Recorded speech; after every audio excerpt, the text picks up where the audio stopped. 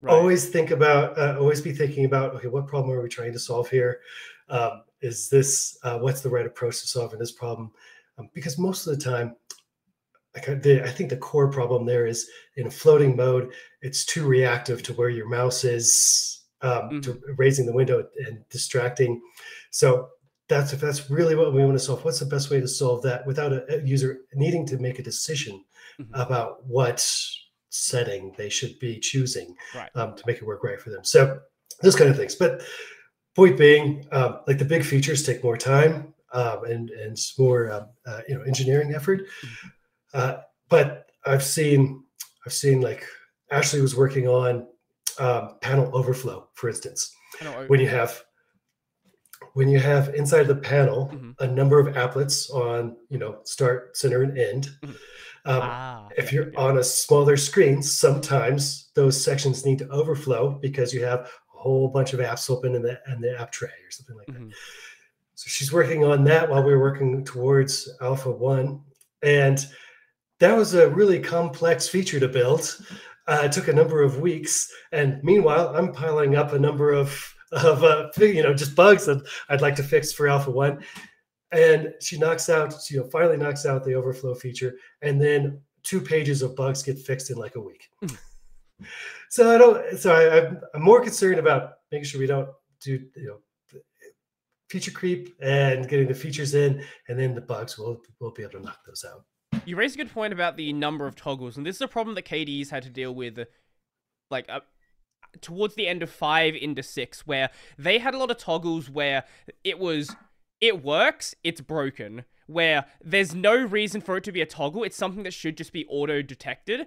It's it's something the user shouldn't have control over because there's no reason for them to be able to choose it doesn't work. And whilst you can't like it, it would be like adding a toggle for every single option that you can have in like in your Xorg config where you don't need that to be there yes it, it's sure you can add them like an engineer if you let them go and add a bunch of toggles for stuff they can add a bunch of toggles for stuff but what value is it actually adding to the user or is it just overcomplicating what you have there just for the sake of adding more things to choose it's really hard to it's really hard not to just add the toggle mm-hmm. because mm-hmm. that's that is the easiest easy way to say let the user decide mm-hmm.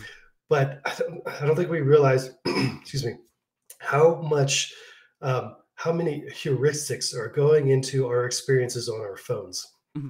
like there is a lot going on there just so that things work well on a small screen um, that are kind of things that i often see as suggestions for new features in cosmic. Mm-hmm.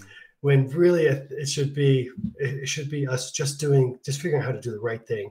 It's harder it's harder to do engineering wise perhaps sometimes.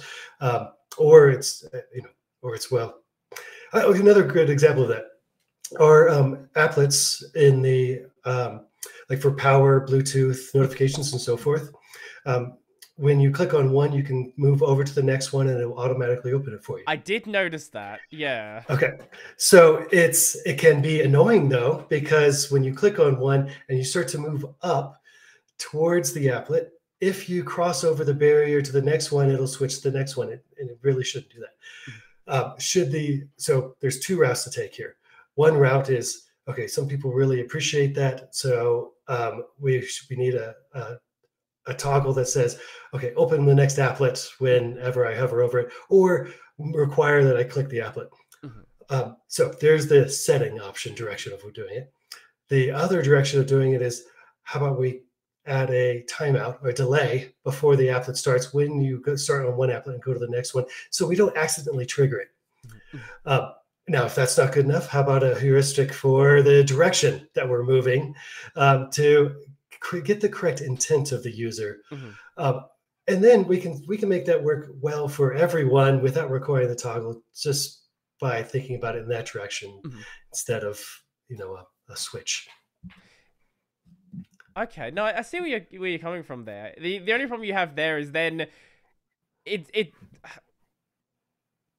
you have to then guess what the majority of users are going to think feels good. And obviously you can test it and tweak and things like that, but I guess trying to guess what the user is doing there adds a lot more complexity to the problem than just adding a toggle. And I guess that's why the toggle can seem like the, I guess, the better approach to do at least in the short term.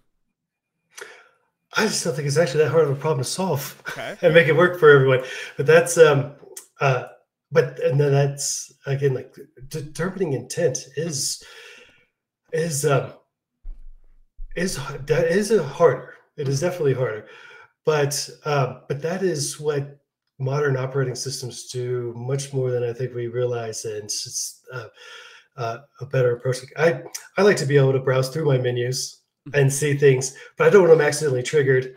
So I would like to just see it work right and go for that. Uh, uh, you know, go that uh, you know go that direction. It Right. does take more effort, but um, that means it's a better product.